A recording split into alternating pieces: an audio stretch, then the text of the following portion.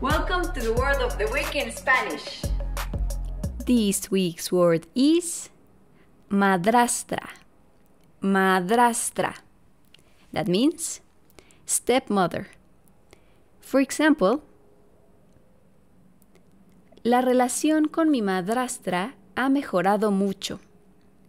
The relationship with my stepmother has improved a lot. Mi madrastra es una mujer muy joven. My stepmother is a very young woman.